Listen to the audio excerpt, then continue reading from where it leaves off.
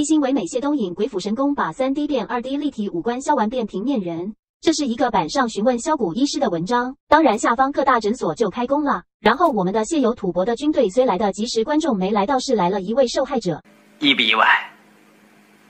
开不开心？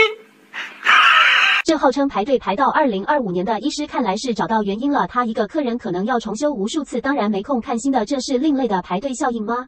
你有病！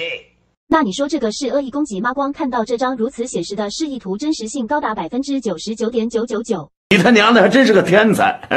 谢医师，我知道你想把自己包装成一位脸之大师，但是手术真的不是嘴巴说说就可以，就像厨师也有分各国料理的厨师啊，是真的不要这么贪心。我从未见过有如此厚颜无耻之人。但其实也有人说谢医师其实就是缩唇可以，但被自己说的好像全能医师去找他的人真的会被削烂哎。左手右手一个慢动作，滚。